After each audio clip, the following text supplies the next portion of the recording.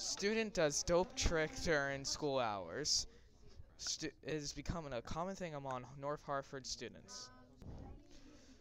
Students are slow at North Harford are slowly becoming paranoid of cameras.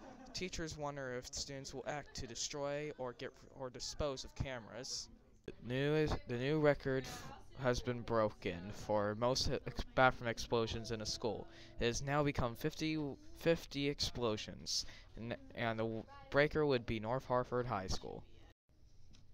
North Harford focuses on courage concept for 2019 to 2020 school year. In 2018, North Harford was he- heavily impacted on bullying and looks to step up to bullies in 2019 to 2020.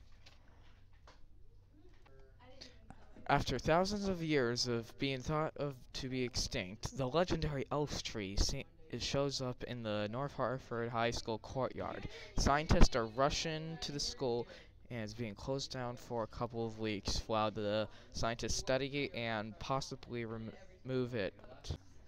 The brand new craze, Crazy Kite, has flooded the nation. Almost every American now owns a Crazy Kite.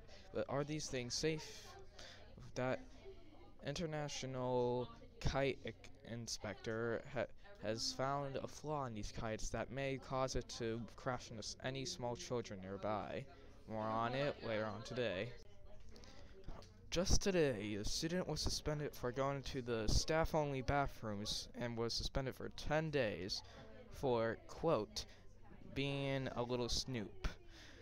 Students are, are wondering whether this is too harsh and some people fear that they will act aggressively due to this. North Harford guy student wins annual art contest. This is only the fifth time a male has ever won a North Harford art contest. North Harford plants tree in a school. This is the only HCPS school with a living tree in it since Falston in 2009.